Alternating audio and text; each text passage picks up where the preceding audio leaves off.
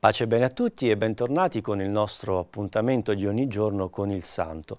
E proprio oggi, che è 23 novembre, noi ricordiamo San Clemente Papa. Ascoltiamo.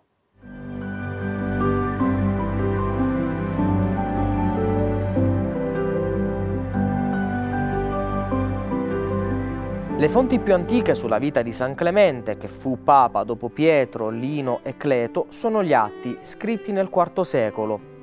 Clemente nacque nel I secolo nel quartiere romano di Montecelio. Si sa con certezza che fu vescovo di Roma sotto gli imperatori Galba e Vespasiano.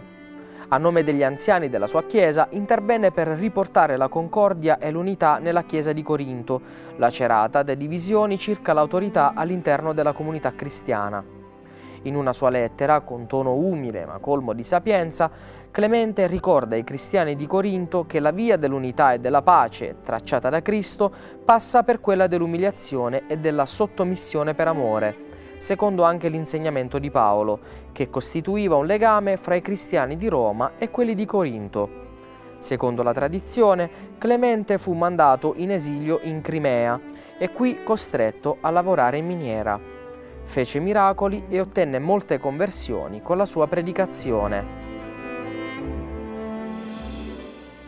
San Clemente è noto soprattutto per la sua lettera ai Corinzi, voi mi direte, eh, ma non era Paolo quello che ha scritto ai Corinzi? Non solo, c'è stato anche questo fratello, questo pontefice, che ha indirizzato uno scritto particolare a questa comunità e mh, mm, cercava di invitarli a riuscire a rimanere tutti insieme, a compiere questa lotta per riuscire a superare anche le differenze sociali e anche le differenze che contraddistinguevano l'un l'altro, a volte facevano scaturire invidie queste differenze, un po' come succede nella nostra società.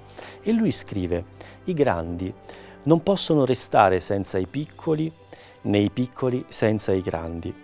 Tutti sono frammisti. Di qui il vantaggio reciproco, vedete che bello, La, il vantaggio è proprio quello di essere diversi. Prendiamo ad esempio il nostro corpo.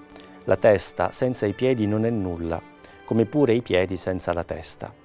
Anche le membra più piccole del nostro corpo sono necessarie e utili a tutto il corpo, anzi tutte si accordano e si sottomettono al medesimo fine, perché tutto il corpo sia saldo.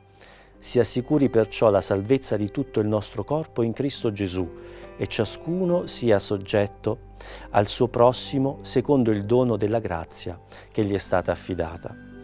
Chi è forte si prenda cura di chi è debole il debole rispetti il forte, il ricco soccorra il povero, il povero lodi Dio perché gli ha dato uno che viene a colmare la sua indigenza. Il sapiente mostri la sua sapienza non con le parole, ma con le opere buone.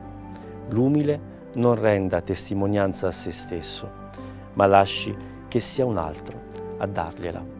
Vedete quanta saggezza e quanta abilità ci vuole per riuscire a rimanere tutti insieme cercando di godere della differenza dell'altro, anche se magari lui è nella posizione di essere più forte di noi o più umile di noi. Cerchiamo tutti di completarci a vicenda perché la bella notizia è questa, ognuno è speciale e ognuno ha delle cose molto particolari che solo egli ha e solo egli può donare, quindi basta scoprirle senza invece cercare ciò che di buono hanno gli altri che pensiamo ci renda inferiori. Non è così, ognuno di noi è speciale, ognuno di noi è importantissimo e proprio in questa ricerca della propria originalità noi vogliamo invocare l'aiuto e l'intercessione di San Clemente e gli diciamo prega per noi.